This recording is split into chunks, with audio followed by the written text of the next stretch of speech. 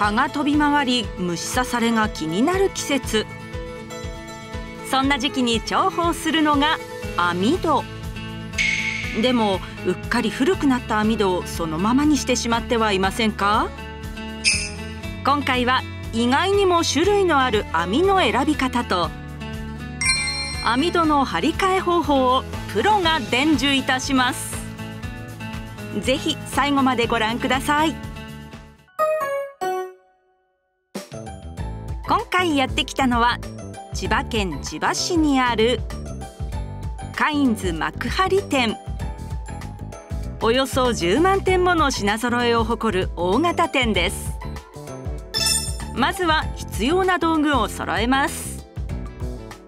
網戸の張り替えについて教えてくれるのは株式会社タイトー田中さんです。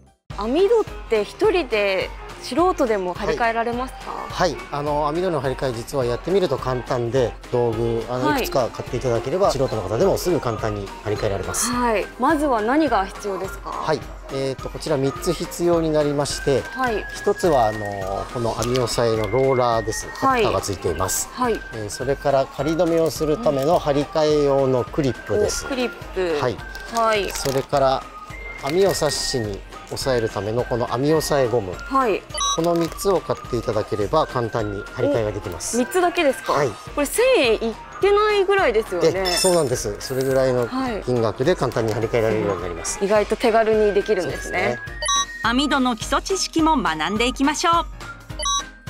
カインズではベーシックな替え網はブラックとグレーの2色展開をしていますブラックとグレーはどう違うんですか？はい。グレーがですねまず外から中が見えづらいのと、はい、あとは埃とか汚れとかが見えにくい女性としてはプライバシーが守られて嬉しいですよね。そうですね、うん、あとブラックはですね、はい、あの部屋の中から外の景色がすごくはっきり見えやすいです。ちょっと外の景色をちゃんと楽しめる仕様になってるんですね、なるほど。ちなみにこの BS スーパーという商品なんですけれども、ブラックの特性とグレーの特性と両方を兼ね揃えている商品で、はい、表面が銀色で、はい、中面が黒色なんです。はい、で黒色の面を部屋の内側に貼っていただくと外の景色が見えやすい、うんはい、で銀色の面が、えー、日光の乱反射で中が見えにくくなっていますので、うん、プライバシーも守られる両立している商品なんです。わめっちゃいいですね。これ女性の一人暮らしとかおすすめですね、他に網の選びに重要なことってありますか、はい、はい、あの網目の細かさがいくつか種類がありますので、はい、その細かさで網戸を選んでいただいています。はい。20メッシュ、26メッシュ、30メッシュと。あ、この数字ですね。はい。この数字が大きくなるほど網目が細かくなっています。ああ、そういうことなんですね。はい。18メッシュと30メッシュを見比べるとその細かさには大きな差が数字が大きいものが網目が細かいので、はい、より小さな虫を防げます、はい、数字が小さいものは、うん、えー、目合いが目が大きいので、はい、風通しが良くなります。なるほど。でも普通の虫蚊とかは入ってこないんですよね、そうですね蚊とかハエとかは18メッシュ20メッシュでも防げるんですけれども、はい、もっと小さい虫を防ごうとすると、うん、26メッシュとか30メッシュとか細かい網を買っていただくといいと思います。そういう選び方すればいいですね、はい、黒とかグレーがベーシックですよね、はい、なんか他に種類があったりするんですか？はいあります、はい、えっ、ー、とカインズならではのデザイン性を重視した、はい、えっ、ー、とディズニー柄の網戸があります。そんなのがあるんですか？はいああ、え、すごい。こちらなんですけれども、はい。カインズではカラフルなディズニー柄のネットを多数取り揃えています。今まで網戸はあの破れたから張り替えるっていうことが多かったんですけれども、うん。はい、このディズニー網戸は部屋の模様替えに合わせて網戸を変えるというあの、新しい提案をしている商品なんです。斬新ですね、はい、網戸についての知識を深めたところで張り替え方を教えてもらいますさあまずは何からやっていけばいいですか？はい、えー、最初に今貼ってある古いネットを取り外します。はい。で網戸のネットは網押さえゴムで押さえてはめられているので、はい、最初にこのゴムを取り外します。はい。先の細い何かドライバーみたいなものを何でもいいんです何でもいいです。はい。引っかいて浮かせるとゴムが外れますのでこのゴムをはい取り外すと網戸がわ結構汚れてますね、はい、見た目以上に汚れてます、ね、そうなんです。わあこういう構造なんですね。ですので汚れてもいい服装でなるほど。をしていただくとい。いと思います、はい、結構簡単に取り外せますでしょうねそうですよね、はい。お挟まってただけなんですね。そうですね。挟まってただけですので簡単に取り外せます、はい、今度はこのサッシの溝をきれいに掃除をしていきます。はい。掃除用の古い歯ブラシですとか何らかのブラシみたいなもので掃除していただくでもあの綺麗に汚れ取れると思います。これ掃除しないとダメですよね絶対に。そうですね。網のはまりがあんまりよくあのしっかりはまらないのと、はい、あとは、えーと、網が切れてしまう場合もあるので。ああなるほど。綺麗に張り替えるためにしっかりお掃除しましょう。新しいネットを、はい、えー、冊子の大きさに合わせて切って仮止めするまでをやっていきたいと思います。はい、網戸のネット裏表はないんですけれども、はい、お店で売っているネットを羽ろうとする場合に大体こういうふうに巻き癖が出てしまうので、はい、巻き癖を下向きにすると貼りやすいと思います。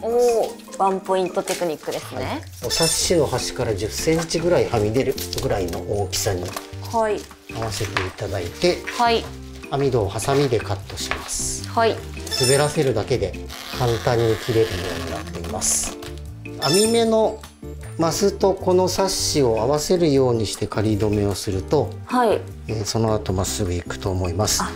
これずれちゃうの怖いですもんね。そうですね。はい。網戸のグリップで仮止めをしていきます。はい。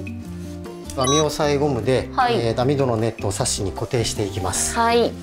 は右利きの方は時計回りに時計回り。左利きの方は時計と逆回りにはめていくと作業がしやすいです、はい、最初のゴムを入れるところだけはこのローラーのこのお尻の部分を使ってゴムを押し込んでいきます、結構スッと入るんですね。そうですね。最初の1辺目と2辺目は、はい、あんまり網戸の張り考えなくていいので、はい、網戸のネットが曲がらないようにちょっと差しでこう手で押さえながらはめていきます。はい、これうまくきちんと入っているのは押さえゴムのサイズと溝の幅が合っているからなんです。売り場でゴムは全部で5種類ありますので、はい、ご家庭のサッシがどのサイズに合うかというのを調べた上でゴムを買っていただいてこれどこで調べればいいんですか？はいあのゴムの切れ端ちょこっと切って売り場に持ってっていただけたらそれを見比べて購入するのが一番楽だと思います。なるほど。3辺目4辺目は少し張り置きにしたいので、はい、やや手前に引っ張るようなイメージでなるほど。ここちょっと難しそうですね。入れていきます。ここもあの冊子とゴムのサイズさえ合っていればそこまで大変ではないと思います、はい。これちょっともし失敗しちゃったなっていう場合は、はい、一回ゴムを外しちゃってもいいんですか？いえ外さないでとにかく最後までやってしまった方が大事です、はい。はいゴムが一周しました、はい、たるみが出ても最後までやってしまってくださいという話をしましたけれども、はい、それはあの最後の部分でたるみを外に逃がして修正できるからです。一番最初にはめたゴムを、はいたるみの大きさに合わせて外します、はい、そんなに外さなくていいんですけれども、はい、もしこれがたるみがものすごく大きかったらこれゴムをたくさん外します。あそういうことか、はい、ネットをちょっと外側に逃がして。あそこで。で最後にボタをはめていくと先ほどあったたるみが外側のネットを切らなければ、はい、よれがあってもたるみがあっても何度でも修正できます。あそうですよね、はい、さっきの方法で。最後にこの外側の余ったネットをカッターで切って作業が終了です。はい、それゴム切れちゃったりしないんですか？はい。ゴムを切れないように、えっと、45度ぐらいの角度につったらゴムが切れないのであまり立てすぎるとゴムが切れてしまいます。そうですよね。寝かしすぎるとネットが切れてしまいます。ああ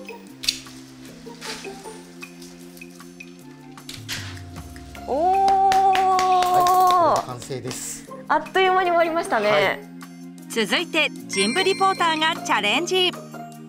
おおおするする。お気持ちいいぞこれ、はい、簡単に取れますね。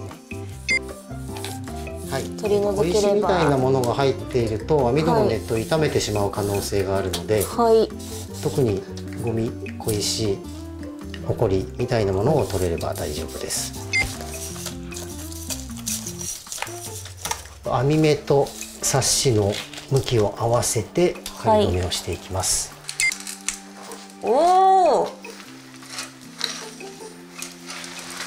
スルスル入ってく。る簡単ですね。思ってたより。そうなんです。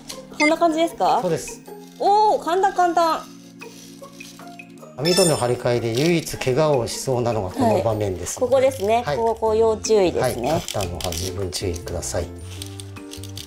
わーい。完成しました。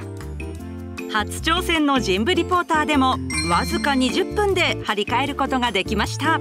もうコツさえ掴んじゃえばもうすぐ簡単できますね、ね、時間も全然かからずできちゃいました、はい、今回は網戸の張り替えをご紹介しました。時間もかからず簡単にできたのでびっくりしました。網戸の張り替えをお考えの方はぜひカインズをご活用ください。